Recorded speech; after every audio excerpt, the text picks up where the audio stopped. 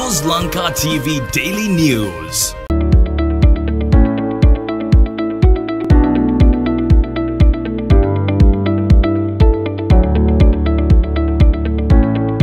මාර්තු මාසයට අදාළව සරණාගත වීසා සහ තාවකාලික ආරක්ෂණ වීසා එල්ලුම්පත් පිළිබඳව තොරතුරු ස්වදේශ කටයුතු දෙපාර්තමෙන්තුව විසින් ප්‍රකාශයට පත් කර තිබෙනවා.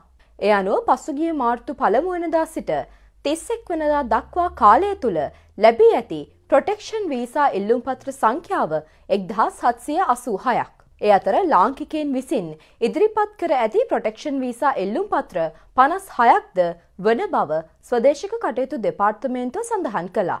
මාර්තු මාසය තුළදී පුද්ගලයෙන් දෙසිය පනස් අට දෙනෙකුට සරණාගත වීසා හෝ ප්‍රොටෙක්ෂන් වීසා නිකුත් කර ඇති අතර ලාංකිකයෙන් එකොළොස් දෙනෙකුද ඒ අතර වනවා.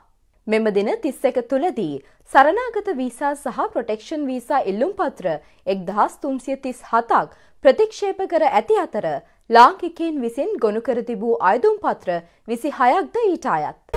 Oz Lanka TV Daily News.